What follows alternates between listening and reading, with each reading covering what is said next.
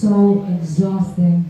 I, I call ourselves emotional toys because we have to, um, you know, like trick our minds and you know build the world around make believe and then and then suddenly break that wall after. So you know what I mean? So um, it's exhausting, but then at the end of the day, it, it makes all of us happy. That's why um, I think that's why everyone's here. Yeah. Actually, uh, Eugene, uh, nag-action-action ka ng mga iba, di ba? Yung mga eksena. Uh, kaya yung iba, at tawag sa kanya, uh, LPJ. LPJ. FPJ kasi, di ba? Di ba? Uh, you read that, di ba? Yes, Pati yes. mga netizens. Yes, funny nga yung LPG. Very witty, very witty. Lucky ko Junior. Kulang na ng patilya. Ah, guys. Meron naman namin pati. Anyway, yung, um, yung, gago, yung ginagawa niyo na ba yan ni Direct Richard?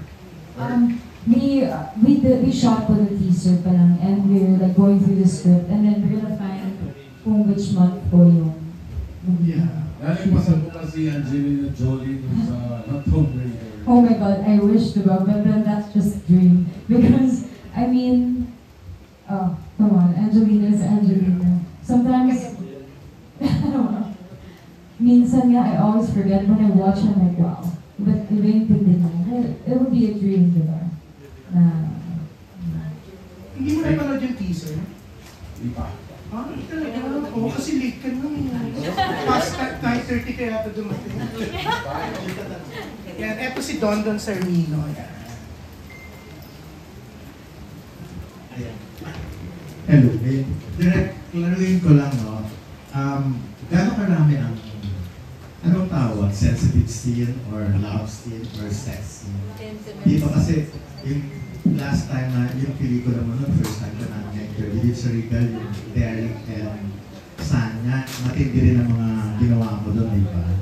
May mga love scene din doon, super adventures ang dating. So, dito ba mas hihigitan yun? So, gano'ng karami muna? May 13 ano ba? sakto lang. Sakto lang mga, lahat, yung dalawang leading men, merong, of course, love scene with love.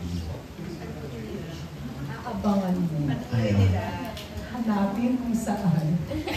So yun nga yung, kasi parang may ganun kang trademark eh.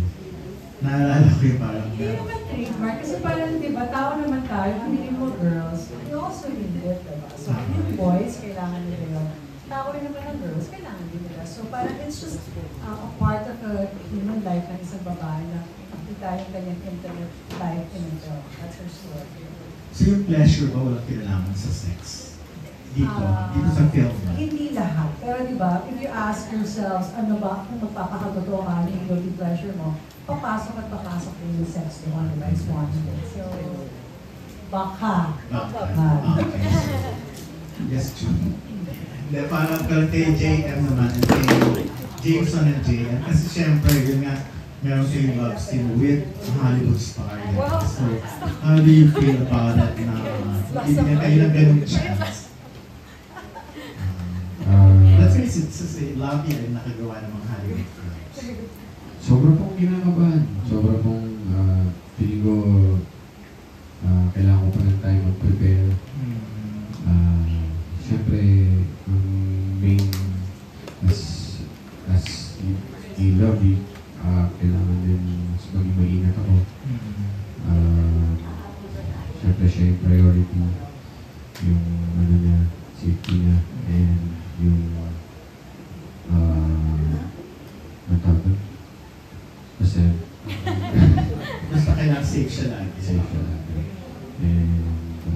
yun, nagpe-prepare naman po mentally and uh, physically.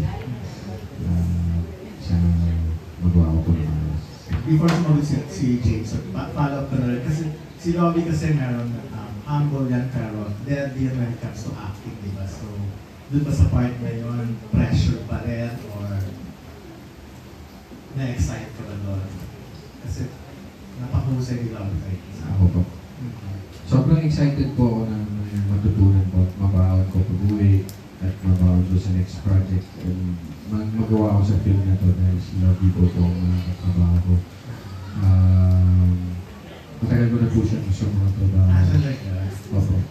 And I'm grateful na pumayag. So, thankful talaga. So, natuwa ka nung nalaman mo na leading man ka, ha? Opo, opo. Sobrang swerte po talaga. James, ano? Yung first question mo natutulog sa Hollywood Star. Uh, uh, yung sensitive scene with the Hollywood Star and then of course, yun nga eh, napakahusay na na rin nila. Hindi ko na matuwa, kaya ako. Remember the last time interview ka namin, sinabi namin masanay ka na sa gano'n.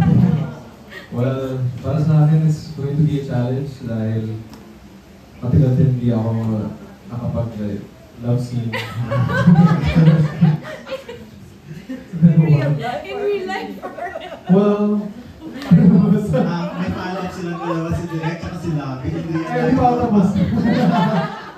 love scene, love scene, scene lang. Uh, it's been a while, so I just have,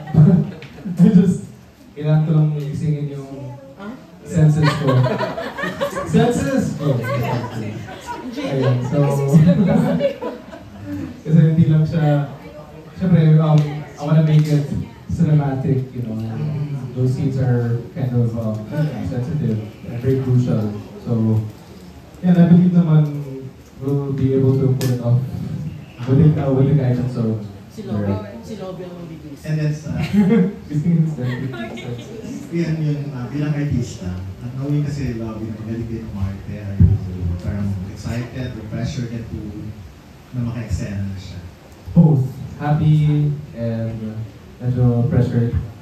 I always feel pressured naman whoever I I work with, especially if it's um, um, she's someone new uh, to work with, and and she's very nice naman, nicer than I thought. Siguro lang sa sa Kaya sa looks ng impression sa kanya dati. Medyo intimidating lang. Konti lang naman, hindi naman yung uh, to the point na. pero when I met her, was really, nice- really nice. So, I'm looking forward sa mga shooting days namin. So reaction love Doon mo na sa last na sinabi niya, intimidating ka, yung nicer than I thought. It's fun. Um, it's funny because Hello. Um, it's funny because that's what I, that's how I always feel. I'm intimidated by my co-actors, my director, everything. It's like si JM then um, even before uh, when I when I entered ABS-CBN, I always said that isa siya sa mga dream kong makatrabaho. Alam ko kung gaano siya kalalim na artista. And finally, we're here together. We're doing this project. And so thank you. I mean, um, movie pa talaga yung gagawin natin. So, mas exciting for you. And, um, of course, si Jameson then, actually, I was, I, I really loved, kasi, you know, my manager's a huge fan of you. My manager. And so, he would show me your projects, and I was like, wow, he's really good, ah. Parang, so sabi ko talaga, I'm, I'm excited to do, and do my scenes with you. And, kanina, if you saw the look test, I was like, si Kuya. Si Kuya. Tumabgan siya dito. so, so, um, so yeah, I mean, to be honest, I'm intimidated as well. And the project itself, as you can see, the storyline, you know, we're gonna, we're gonna tackle consent here. So everything about this project is intimidating. But with the help of Direct, um, Connie, um, I think um, we'll be able to manage because she's not the type who's gonna let you, she's not gonna let you down. She's gonna make sure that you give your best. And for me kasi ako, um, made me do it a million times to give my best and um, and she's that type. So I'm really excited. Pero anong ginagawa mo pag nati-feel mo na na-intimidate ang mga co-stars mo? Pag na-intimidate. Oo, pero like kayo, minamin naman I ng don't- Jason. Oo, hindi ko alam na intimidate. I don't, I don't even know what to about syempre that. marami naman pwedeng ma-intimidate talaga sa'yo. Really? I don't get it. I don't get it. Say it again. Just louder, please. Hindi ko alam talaga. So, saan wala ka namang effort? um, Wala, I'm just, I, I'll, I'll be, ano, I'll be extra maldita. Just kidding. no, I'll be, ano, no, no. I mean, it's nice to have that relationship talaga. Um, I mean, I'd like to liked on set and yun naman yung importante kasi pag magaan, mas smooth talaga yung mangyayari, di? Parang, we all just wanna give our best. We're all the same na gusto lang natin gawin yung best natin. Kasi, it's a team. Di ba? Teamwork talaga. Um, lahat magdadala sa pelikula. because every every character needs to be strong. And that's why Direct is super tutok talaga. That's why we had our script reading. And ang ganda because ang dami namin natututunan kung anong yung tone na gagawin namin, especially si Miss Noreen. Hindi biro yung script niya, which is kind of scary. It's kind of, um, it's very controversial. So talagang we wanna, you know, deliver our characters right. Thank you, Chu. Mamaya na yung malo kasi nag-intimidate si Lovey. na-intimidate si Jameson kasi hindi pa kayo ganun magkakilala. di ba? Well, mag-break yung ice na yun. Pero once na... Si Direct, mahilig mag-break ng ice, just so you know. Hindi, Pero Ju, nakakabilib din na si Lovey na-intimidate din. Nakakaramdam ng ganong feeling sa mga like younger generation. Hindi ko pa sinasabi. Better na si Lovey. Pero kaya yung, yung record ko kasi yung work with Chris Cardinal. Yun, lahat na ng mga malalaking artista na tatrabaho ko. Diba? So, Oh, ano ganun talaga si Labi? Nakita niya yung list, no, kahapon ng press. Sabi niya, ay, kung hindi sa niyo, na-intimidate ko kay James na galing. Thank you very much. Thank you. Yeah, pero JM, aware ka ba na ni-request ka ni Labi sa project na to? Inintay ka talaga sa project na to? Oo, kaya ito yung pinakahuling pumasok na, na, na ay, nung maayos, nung, di ba, nang maayos, di ba nung no? naayos yung schedule, umuo yung uh, Star Magic Parade, kaya tinuloy na. Aware ka ba? Oo. So, ano, ano yung mic mo? Ikaw na mag-melt So, nung, nung, nung malaman mo yun, na na, na, may credibility naman si Noreen, so naniwala ka na. Hindi po ako makapaniwala. Ah, hindi ka naman. Dinay po na muna.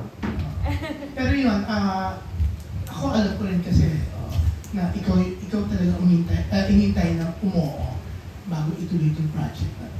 Grabe naman po. Pressure. Pressure. Stress na ba? Ngayon mo na nalaman? Hindi, sinabi rin daw ni, ano, ni Noreen sa kanya. Oo, pero totoo yun ah. Hmm. Sarap pa pero.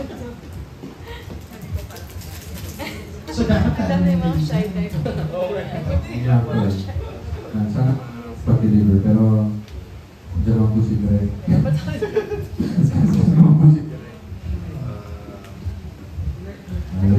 breakdown. Pero, ah, siyempre si Lavi, uh, first time, ah, second time yan to kay Derek eh. Ka- kayo, first time. Ah, second mo rin. Jameson, fir- first. Ah, second din. So, kayo yung, kayo ang first kay Derek. Para yan mo. Panahon mo pa sa Christopher Louis, ikaw ang kaya ito. Siyempre producer ako. And then, alam mo si Direct, talagang will bring out the best in you. Talagang gagawin niya yung, kasi nilalabas niya yung best side niya talaga as an actor. So, yun talaga yung um, we look forward to dito. Yeah, Thank you. Yan. Pero eto, magtatanong ha. Ah, yan, Miss G. Uh, Trilliana of Malaya. Yan. Malaya yung first movie together. Dito ka, G. Nag-read din si G kasi gusto niyang uh, tumerno sa wall. Good afternoon.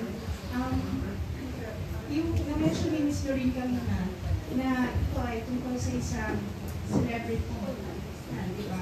It's a, it's a, something that is inspired by headlines right now. So, is, um, Ms. Lorin,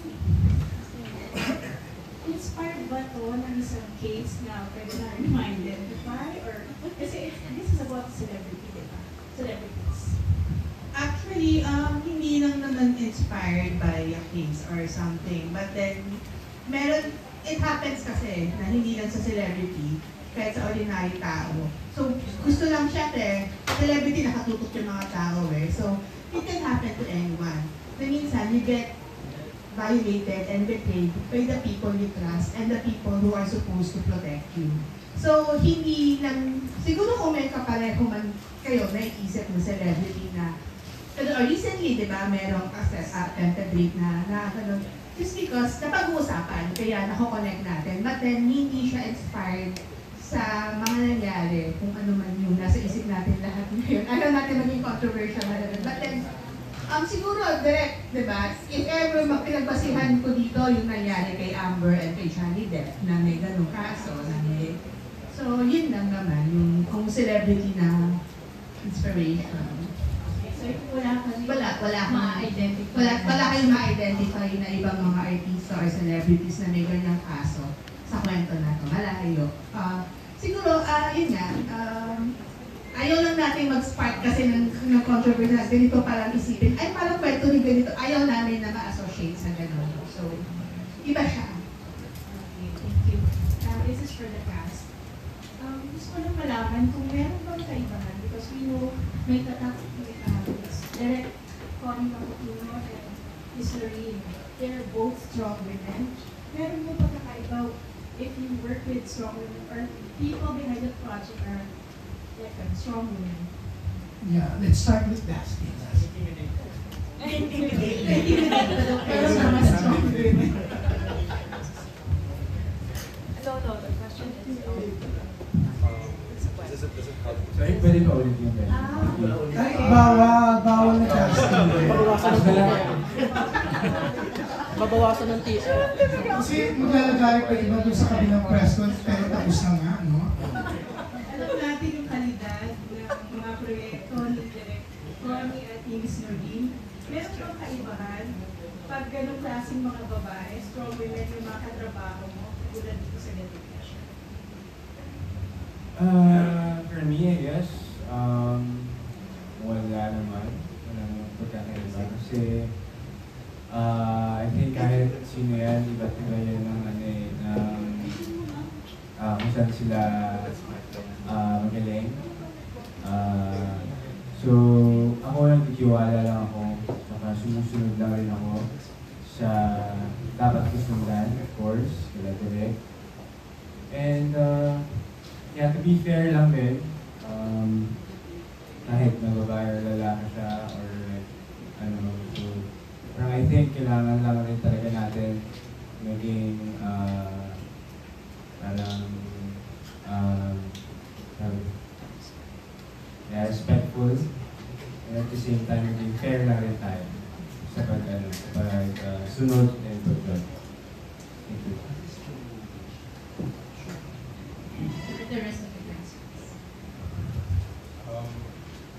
I think it helps in ways, uh, especially if we're tackling a sensitive matter. Um, I, I'm sure that they can give better insights, so um, we can do the scenes better. So ayun, maybe in terms of um, on, on execution and uh, maybe more important information about certain subject, I think it will help naman.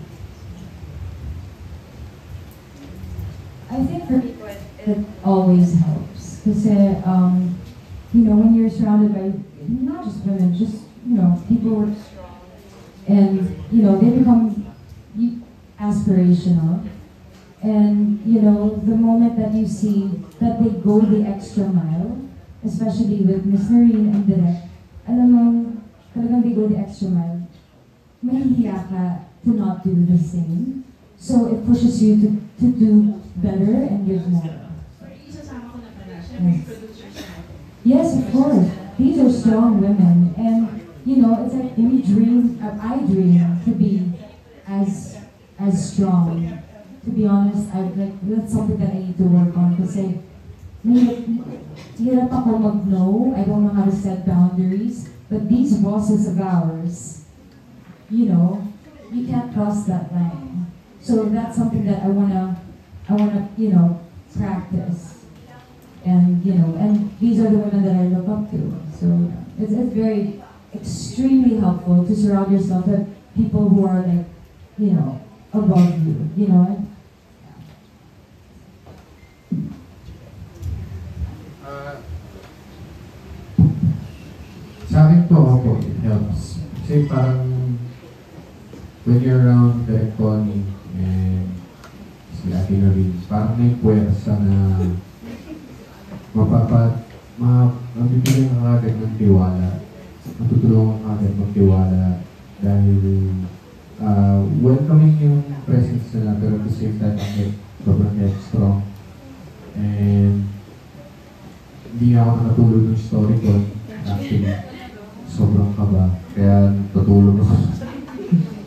so, pero kinausap ko kami direct, doon nanuwan ako, nabiluhin.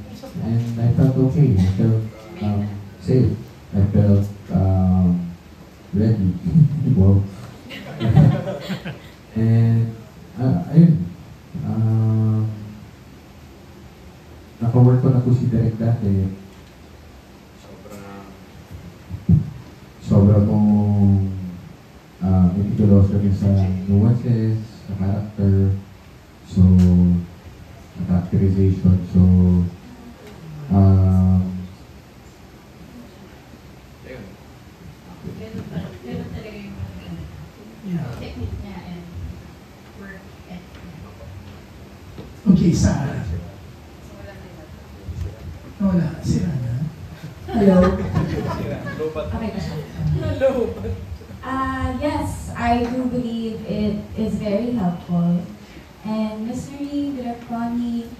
um, si Miss Rosel, Mother Lily, these are all very strong women and they stand with women empowerment.